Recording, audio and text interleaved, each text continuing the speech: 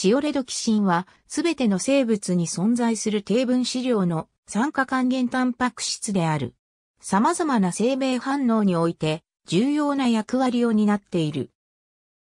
チオレドキシンは人では TXN 遺伝子にコードされている。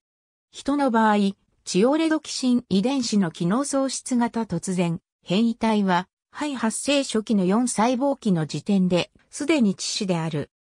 作用機構は、完全に解明されているわけではないが、チオレドキシンは、人において、中枢的な役割を果たしており、特に活性酸素子との反応に関連して、医薬分野との結びつきが強くなりつつある。前述の通りチオレドキシンは、基地のすべての生物に見られるが、中でも哺乳類では不可欠である。植物においても、チオレドキシンは光合成から成長、火生、そして種子の形成と発芽に至るまで多彩で重要な機能を司っている。近年では細胞シグナリングにも関与することが報告されている。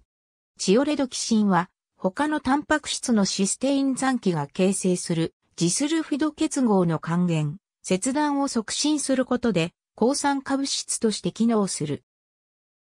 アミノ酸配列のレベルでは、チオレドキシンは近接する2つのシステインからなる CXXC モチーフを持っていることで特徴づけられる。この2つのシステインはチオレドキシンの還元力の中核である。チオレドキシンはまた、チオレドキシンホールドと呼ばれる特徴的なホールディング構造を持つ。他のタンパク質を還元した際、チオレドキシン自体は酸化され、自身のシステイン残機で分子内ジスルフィード結合を形成する。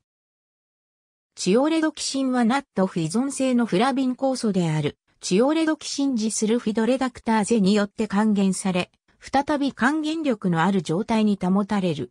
チオレドキシンはペルオキシダーゼやリボヌクレオチドレダクターゼに対して電子共与体として働く。グルタレドキシンもチオレドキシンと似た機能を持っているが、この酵素は特定の還元酵素ではなく、グルタチオンによって還元される。